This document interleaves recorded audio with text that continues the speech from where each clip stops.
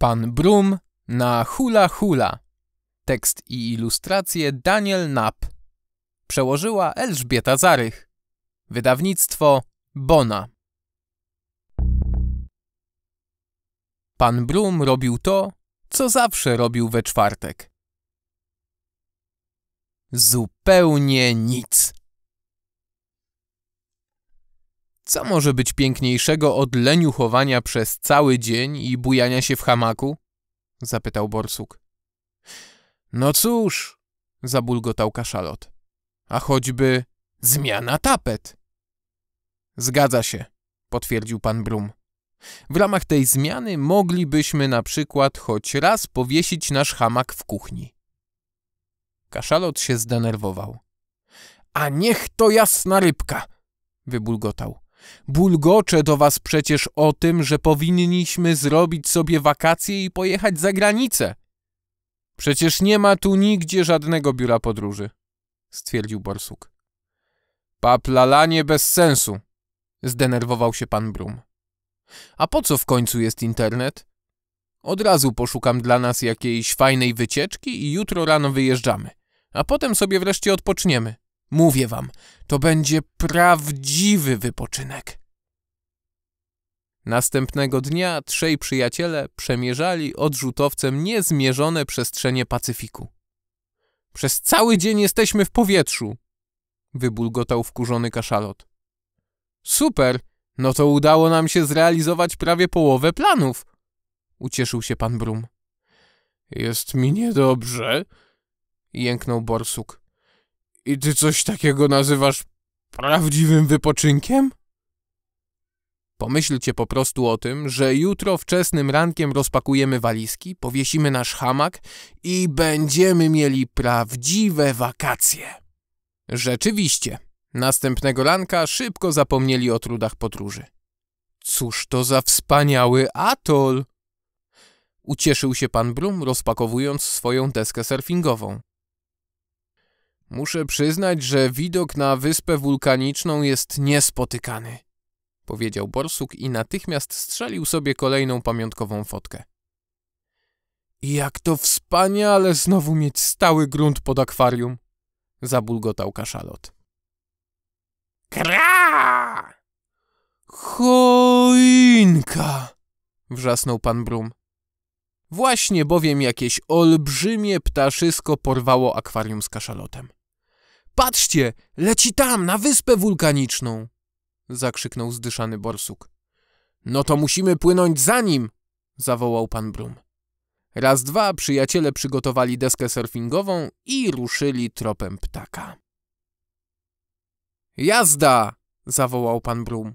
Szybciej, bo inaczej nigdy więcej nie zobaczymy kaszalota. Jakoś zupełnie inaczej wyobrażałem sobie wakacje, narzekał borsuk. Spróbuj po prostu sobie wyobrazić, że tu nie ma rekinów. Tak radzi w prospekcie biuro podróży. A czy w twoim prospekcie piszą też jak nie zauważyć tych krabów? Zawołał Borsuk, kiedy wreszcie dotarli na wyspę. Nie mamy czasu na narzekanie, powiedział pan Brum. Założę się, że ten ptak chce polecieć z kaszalotem tam na szczyt wulkanu. Kra, kra. Pan Brum i Borsuk Przedzierali się przez gęsty las deszczowy, wdrapywali się po śliskich ścieżkach, aż wreszcie dotarli na strome zbocze. Wtem nagle stanęli przed znakiem ostrzegawczym.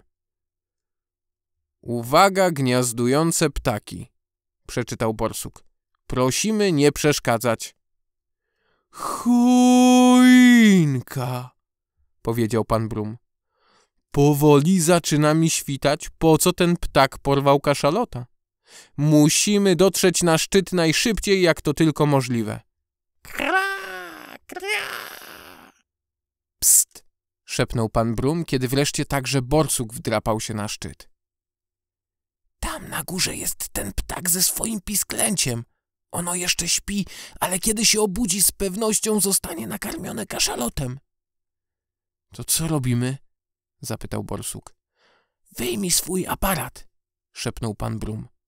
Czas na pamiątkowe zdjęcie. A następnie szeptem opowiedział Borsukowi prosto do ucha, jaki ma plan. Ptak nieźle się zdziwił, kiedy chwilę potem jakieś dziwaczne plastikowe urządzenie pojawiło się przed jego dziobem. A teraz proszę o uśmiech, powiedział pan Brum.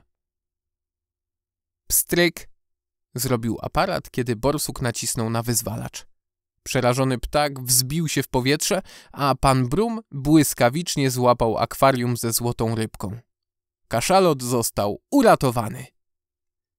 Teraz wreszcie możemy powiesić nasz hamak, powiedział pan Brum po zakończeniu akcji ratunkowej. No tak, teraz to ja już naprawdę potrzebuję wakacji, zabulgotał kaszalot. Na szczęście z góry schodzi się o wiele łatwiej, zawołał borsuk i znowu pstryknął fotkę. Późnym popołudniem trzem przyjaciołom wreszcie udało się wrócić. Nareszcie wakacje, ucieszył się borsuk. Prawdziwy wypoczynek, zabulgotał kaszalot. Dokładnie tak, jak wam to obiecałem, powiedział pan Brum. Szkoda tylko, że ten piękny czas już minął. Co masz na myśli? zapytał skołowany borsuk. No cóż, nasz lot powrotny jest za dwie godziny, oznajmił pan Brum. Zaraz musimy się zbierać. Niepojęte, rozzłościł się borsuk, kiedy niedługo potem znowu pakowali swoje walizki. Lecimy ponad 40 tysięcy kilometrów, 24 godziny w jedną i 24 godziny w drugą stronę i to dla jakiegoś niepełnego dnia wakacji? Ale to była prawdziwa okazja, powiedział pan Brum. I pomyślałem sobie, że jeśli ja z niej nie skorzystam, nie zrobi tego nikt. Po długim locie powrotnym trzej przyjaciele siedzieli wyczerpani, ale zadowoleni w swoim hamaku. Powinniśmy to robić częściej, powiedział pan Brum. Co wy na to, żebyśmy w następnym tygodniu polecieli na przykład na dwa dni na Hawaje? Beze mnie, powiedział Borsuk. Teraz to ja naprawdę potrzebuję wakacji, żeby odpocząć po tych wakacjach. Jedyną dobrą rzeczą w całej tej podróży, wybulgotał natomiast kaszalot, jest to, że teraz w domu jest wreszcie znowu przytulnie. A czy nie lepiej by było spędzić dwa tygodnie wakacji w hamaku we własnym domu? Zgoda, powiedział pan Brum. Mamy widok na kuchnię, która w sumie też przypomina wulkaniczną wyspę. A potem wyjął aparat, żeby szybko zrobić kolejne pamiątkowe zdjęcie. Czytał oczywiście tata Mariusz, czyli Mariusz Rzepka. Jeśli podoba Ci się to, co robię, wpisz w Google krzyżyk Tata Mariusz i wybierz najwygodniejszą ścieżkę do pozostania na bieżąco. Ilisku, dzięki, że jesteś i do usłyszenia.